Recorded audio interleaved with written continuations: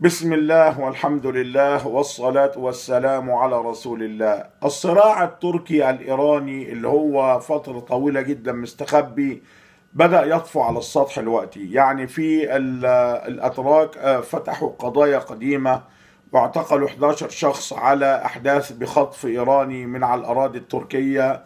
يعني باختصار آه، تركيا بدأت إن هي يعني تفتح لإيران الملفات القديمة بتاعتها. وبعدين قبل حوالي أسبوع كده تقريبا في احتفال الانتصار بتاع كرباخ لما أردوغان ردد الأبيات الشعرية اللي أنتوا عارفينها بتاع النهر ومش النهر والكلام ديت. آه، ترديد أردوغان هذا يعني أثار انزعاج كبير جدا في إيران.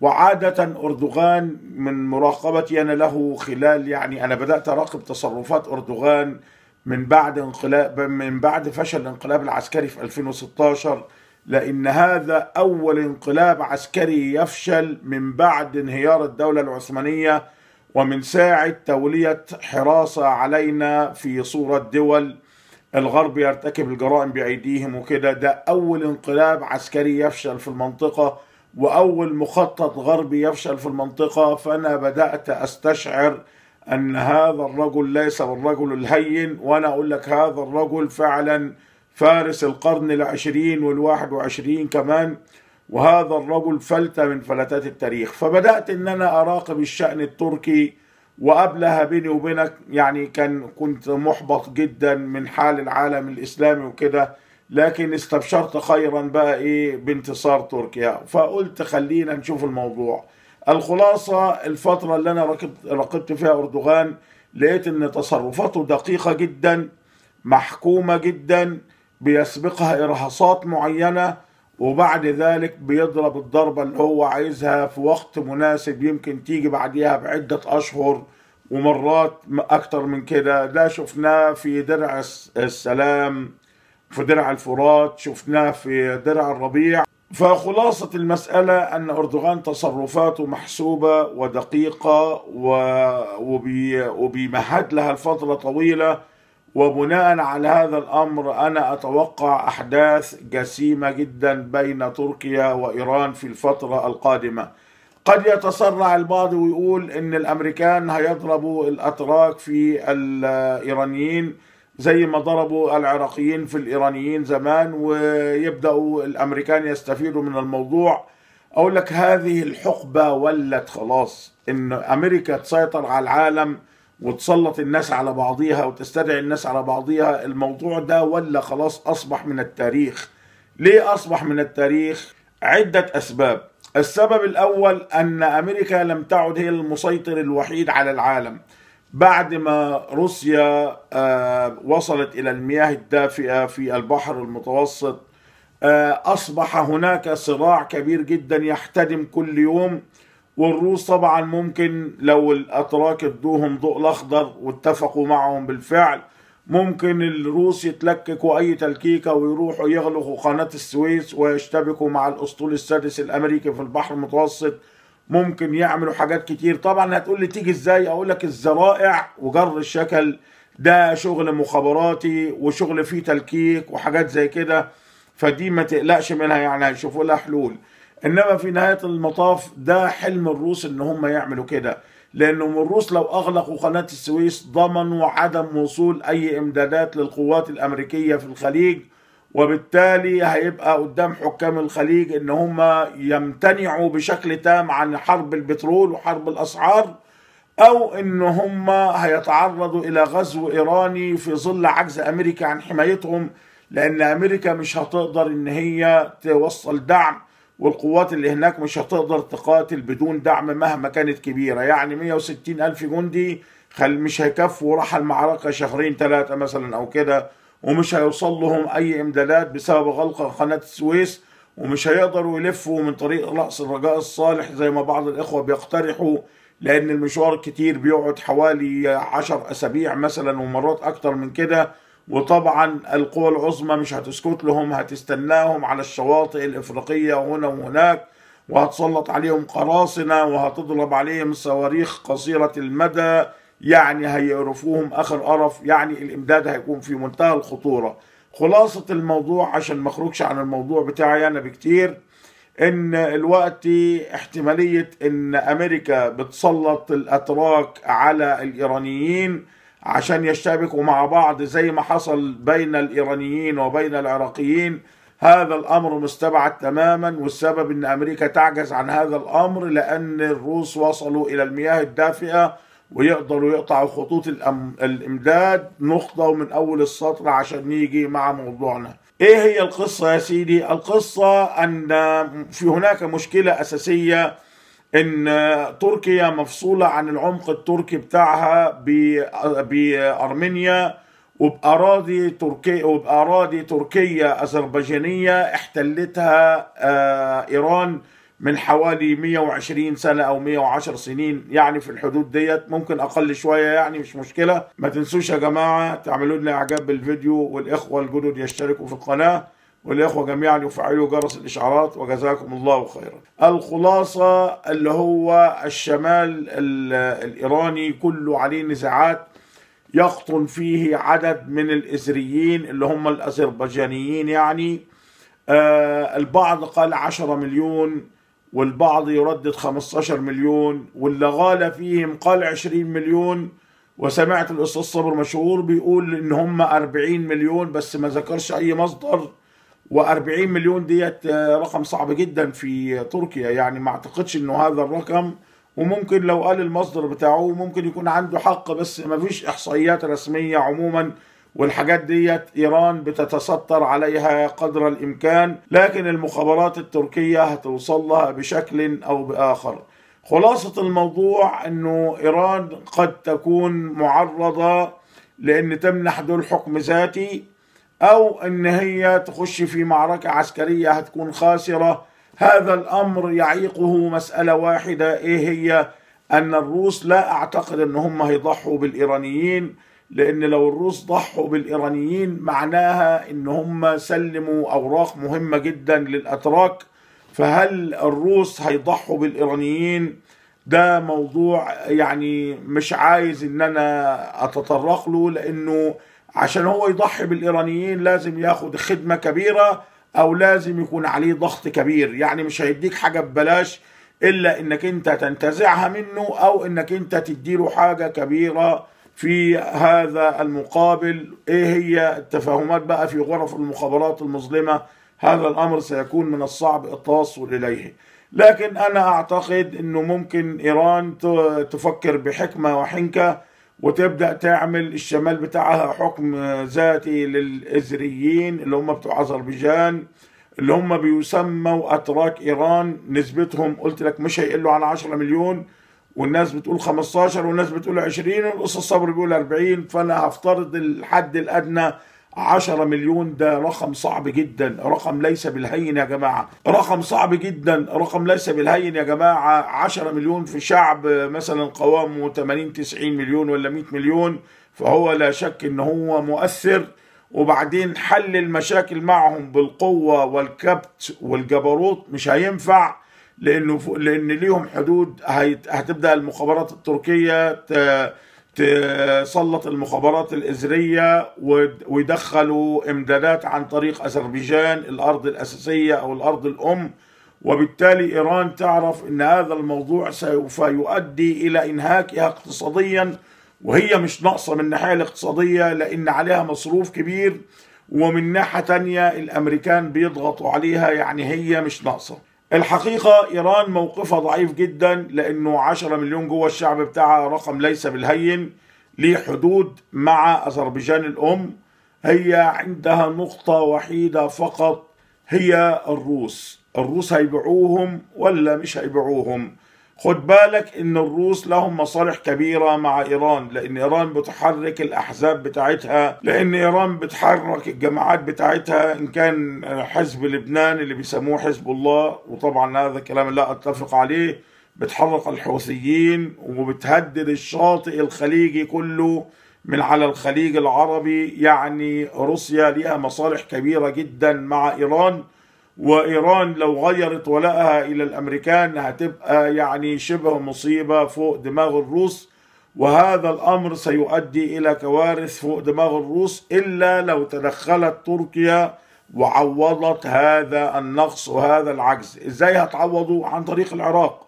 وأنا من زمان قلت لكم العراق قادم يا جماعة وأرجع أقول لكم ده الفيديو الرابع اللي أقول لكم فيه العراق قادم وقادم بقوة. العراق كان عايز ترتيب البيت الداخلي كان عايز تطهير آه العراق من آه المجوس اللي داخلين بيتحكموا في الحكومة وحاطين عراقيين مجرد صور وعرائس كرتون مش أكتر من كده. العراق عايز تحرير بمعنى كلمة تحرير. وأعتقد إن تركيا بتلعب على هذا الوتر عشان تحرر العراق الأم من ناحية وتحرر العراق اللي هم الجزء بتاع كردستان من الناحية الثانية وبالتالي تقطع الذراع الإيراني من جوه وبالتالي إذا قطع الذراع الإيراني من جوه هيبقى إيران ليس لها أي قيمة عند الروس وممكن تخش في صفقات وحاجات زي كده.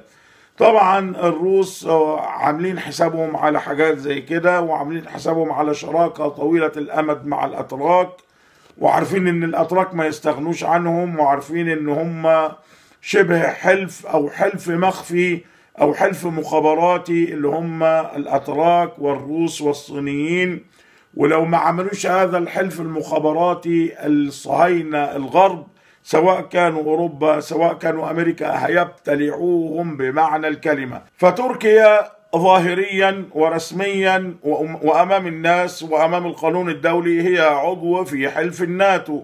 لكن طبعا لا تنسى إن الناتو حمل تركيا أعباء كثير. صح هي استفادت منه كثير كمان عشان إيه؟ عشان نكون منصفين. فاللي أنا عايز أوصله لك إن هي في الظاهر مع الناتو وبعدين بتفرض على الناتو شروطها. يعني عايز تاخد تاخد حقوقها كاملة كعضو في الناتو. مش هتدوني حقوقي الكاملة كعضو في الناتو الموضوع في منتهى البساطة. هيحصل تعاون أكبر وتوسع في التعاون الروسي التركي الصيني. يعني يعني تركيا رغم إن هي في الناتو إلا إن التحالف الخفي هي مع روسيا ومع الصين وفي الحقيقة هي بتدور على مصالحها وفي الحقيقة روسيا والصين سيقدمون مصالح كبيرة جدا لتركيا رغم أنفهم انتزاعا. الناس دي ما بيدوكاش حاجة هكذا هدية ولا لأنك صاحبهم ولا كذا ما يدوكش حاجة إلا إنك أنت تنتزعها منهم سواء كان لك حق تنتزعه تنتزعه أو لو أنت ظالم نسأل الله السلامة لنا ولكم لصالح المؤمنين الظالم بينتزع اللي هو عايزه كمان.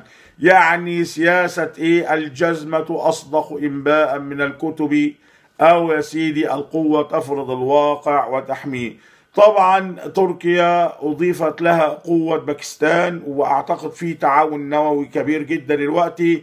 بل إن التعاون النووي الباكستاني سوف يكون تعاون نووي باكستاني صيني ولكن الاسم إن باكستان هي اللي بتدي للأتراك عشان الصين ما تخشش في مشاكل مع الأمريكان. طبعا كمان نقطة مهمة جدا هو التعاون مع إمارة طالبان اللي هيتم الاعتراف بها دوليا عما قريب. أعتقد إن شاء الله رب العالمين. وإمارة طالبان دي أبو الشباب هي يعني عدوة القوى العظمى وأفغانستان بيسموها مقبرة الغزاة أو مقبرة الدول العظمى سميها زي ما أنت عايز. فطبعا زي ما قلت لكم كده عن الأفغان إن الإنجليز دخلوا سنة 1800 وشوية قتل الجيش كله عن بكرة أبيه إلا قليل جدا يعني. وبعد ذلك جاء راحوا الامريك السوفييت انهاروا وبعدين راحوا الأمريكان. وديكم شايفين حالهم. فبالتالي الوقت الصين عارفة إن الناس دي مش هينفع معاها الحل العسكري. فيبقى الحل إيه؟ الحل بالتراضي والتفاهم. التراضي والتفاهم ده هيكون إيه؟ هيكون بناء على نصائح الناصح التركي وبناء على شغل المخابرات التركية الباكستانية مع طالبان. وأوعى تفكر إن طالبان دي حاجة هفق يعني كده ولا ممكن تتخدع ولا حاجات زي كده. ده أمريكا بسبعين ألف رجل من رجال الاستشراق وعلوم إنسانية وعلوم استشراقية وعلوم مش عارف إيه وبلغة البشتو والأردو. يعني عملوا لهم سحر وعملوا لهم نطة القرد وزنقة المش عارف إيه. مش عارفين يخدعوا طالبان ابدا وصعب جدا إن هم بل أعتقد إنه مستحيل إن هم ينجحوا في خداع طالبان. أضف إلى ذلك أن المخابرات الباكستانية دلوقتي يعني بيحصل فيها عملية تطهير يعني مش هي المخابرات بتاع برويز مشرف. هكذا أنا ما عنديش معلومات لكن طبعا تقرأ الموضوع. طالما الدولة بتتصلح تعرف كل العناصر الفاسدة ماشية على طول. كل العناصر المشكوك فيها في التعامل مع الغرب والشرق وخيانة البلد ماشية على طول. كل الإدارات دي ماشية على طول. حتى هو عمران خان نفسه يعني هو اللي اعطاله الفرصة إن هو يقف بهذه القوة. هو تحرر الاقتصاد بتاعه ولو بشكل خفي. يعني ما عادش يتضرب بالعصاية لا يقدر يضربوه عسكريا ولا يقدر يضربوه اقتصاديا. وبالتالي وقف الوقفة اللي أنتم شايفينها دي لكن أنا أعتقد اللي هيجي بعديه هيكون إنسان محنك أكثر وهيكون إنسان قوة للإسلام والمسلمين أكثر. وهو الحقيقة الرجل يعني مش مقصر يعني في الأمور الأساسية على الأقل. سيبك بقى من الماضي بتاعه إنه مش عارف إيه ورشاوي الكريكت والكلام ده سيبك من الموضوع ده. خليني أرجع لموضوعي. موضوعي أن الصراع التركي الإيراني بدأ يطفو على السطح إيران اعترضت وتركيا اعتقلت كمان الشبكة اللي أنا قلت لكم عليها ديت وتركيا دلوقتي يعني وضعت إيران بين فكي الكماشة. يعني الأول كان صعب بس بعد تحرير قرباخ الموضوع بقى سهل جدا.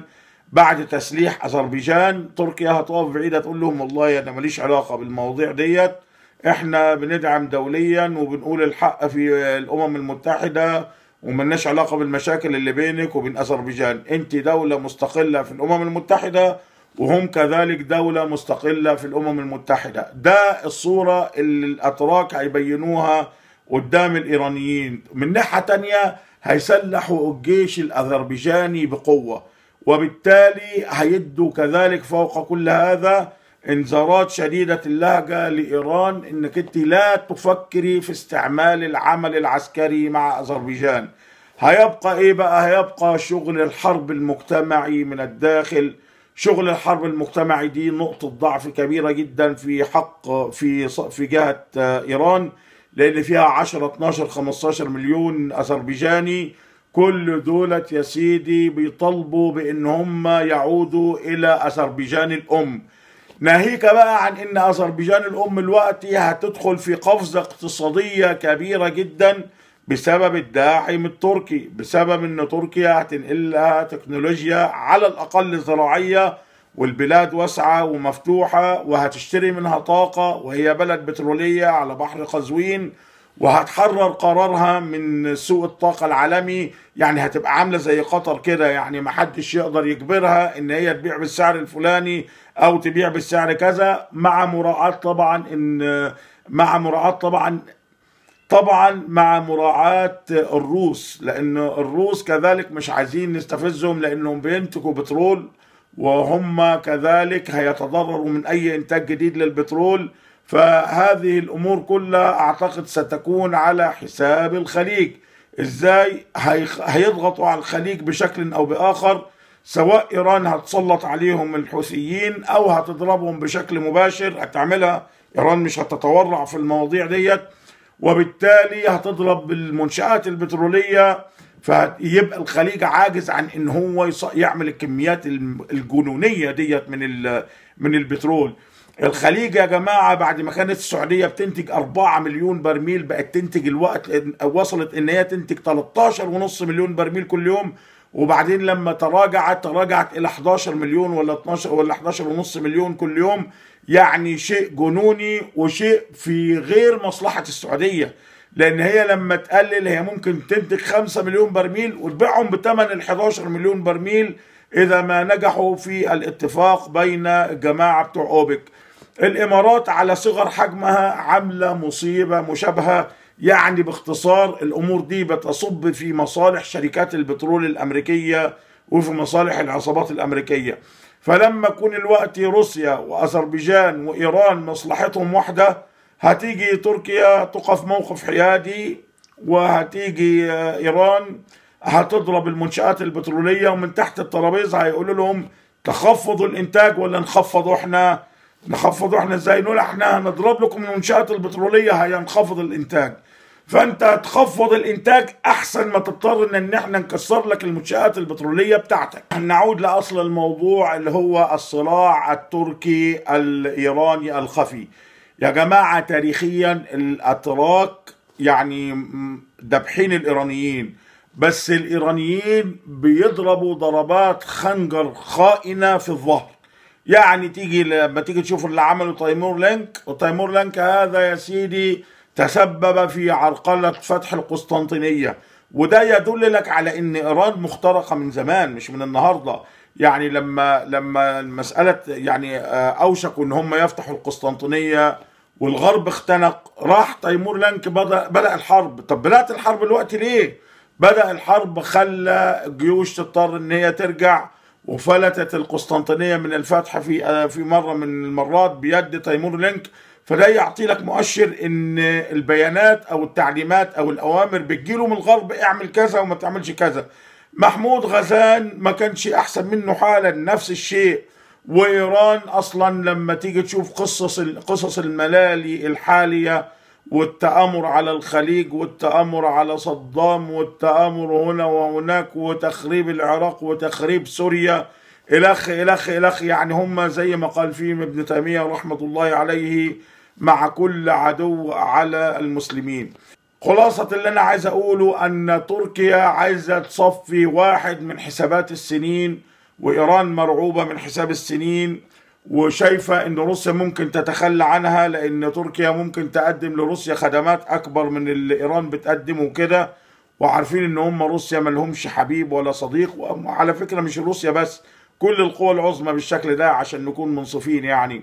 فالوقت الإيرانيين كيف سيفكرون؟ سيفكرون في التحالف مع الصين خاصة إن الصين عاملة لهم مشاريع زي ما قلت لكم قبل كده حوالي 400 500 مليار دولار أمريكي الصين هتستثمرهم في إيران على مدار العشر سنين اللي هم أعتقدوا هيبدأوا في الواحد وعشرين أو بدأوا بالفعل في عشرين عشرين. فطبعا ده يعني هيخلي الصين كذلك يعني تبقى مصلحتها مع إيران وعايزة تعمل شيء لإيران لكن هتبقى هناك مشكلة. إيه هي المشكلة؟ ما يضمنوش توصيل عمليات الإمداد حال نشوب حرب. وبالتالي يجي يخش الخليج هيلاقي إن الإمارات مسيطرة على آه على اليمن. وهيتعذر للصين إن هي تخش الخليج إلا بإذن أمريكي. فخط المية مقفول. الخط البري أفغانستان وتركمانستان أو أفغانستان وباكستان في الطريق. هيتعذر الوصول إلى الصين إلا بإذن باكستاني أفغاني يعني لازم موافقة تركية كمان. فأما بقى المجال الجوي فقلت لكم الدعم الجوي ده يا جماعة اولا ما حدش هيخليك تستعمل الأجواء بتاعته. هي نفس المسألة محصورة يعني ما حدش هيدخلك الأجواء بتاعته. وحتى لو حد دخلك الأجواء بتاعته الدعم الجوي مكلف للغاية وأهداف سهلة للقصف. طبعا كمان في حسابات تركية صعبة تركيا أمريكا عايزة ترجع تحتلها وإن كان الأمر ده مستحيل. آه تركيا مش هتأمن للروس مهما كان الحال. آه تركيا صح الوقت المصالح الصينية التركية قوية جدا جدا لكن إحنا يا جماعة في صراع مع الزمن. مش هنفضل طول الوقت إن إحنا يعني مستنيين نتحالف مع حد. إحنا مش إحنا مش مملكة زي الممالك وزي الإمبراطوريات العالمية اللي هي بتحصل ديت. المسلمين لهم وضعهم الخاص. المسلمين لو حكمهم رجل صالح النتيجة إن هم يعني بيغزوا العالم وبالحق واللي بيفتحوه بعد شوية بيتحول معهم لنفس الدين وبعد كده هو نفسه بيبقى فاتح. ليه؟ لأن هو بيقول لك أنا دلوقتي تحت ظلم السيسي مثلا أو تحت ظلم مش عارفين الأسعار غالية والدنيا خربانة وكذا وكذا وكذا. الناس دول من ساعة ما جم وهم جاي معهم الخير ومحدش بيتعرض لي. وأنا في أمان أكتر من الأول فبيعرف إن الناس دي أهل حق وبالتالي بيحاول إن هو يساعدهم ويدعمهم أو على الأقل يكف شره عنهم. إيه اللي هيحصل في الفترة الجاية؟ الله أعلم. أدينا بنتابع وأنا بناقش معكم طبعا أهم الأحداث. وإن شاء الله غدا نتكلم في موضوع جديد. وجزاكم الله خيرا. وصل اللهم وبارك على عبدك ورسولك محمد. والسلام عليكم ورحمة الله وبركاته.